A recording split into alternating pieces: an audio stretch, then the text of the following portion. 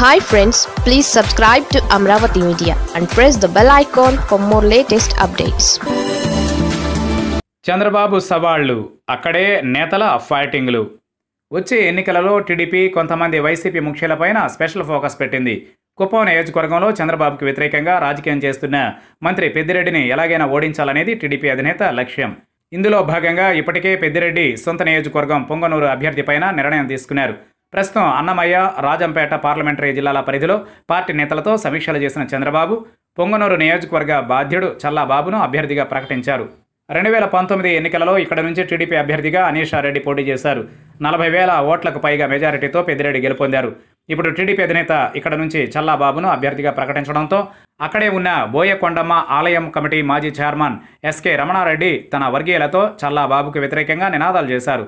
సభ గందరగోళంగా మారడంతో రమణారెడ్డి తన వర్గీయులతో బయటకు వెళ్ళిపోయారు. అదేవిధంగా పెద్దిరెడ్డి రామచంద్రారెడ్డి సోదరుడు ద్వారకానాథ్ రెడ్డి ఎమ్మెల్యేగా ఉన్న తంబళ్ళపల్లి నియోజకవర్గ కార్యకర్తల మధ్య గొడవ జరిగింది. శంకర్ యాదవ్ గురించి చెబుతూ ఉండగా ఆయన అనుకూల వ్యతిరేక వర్గీయులు పోటాపోటీ నినాదాలు చేశారు.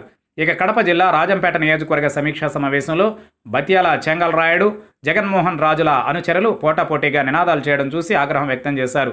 రైల్వే కోడూరు నియోజకవర్గం సమీక్షలోనూ కస్తూరి విశ్వనాథ నాయుడు వర్గీయులు బత్యాల చెంగల్ రాయుడు వర్గీయుల మధ్య నినాదాలు జోరుగా సాగాయి.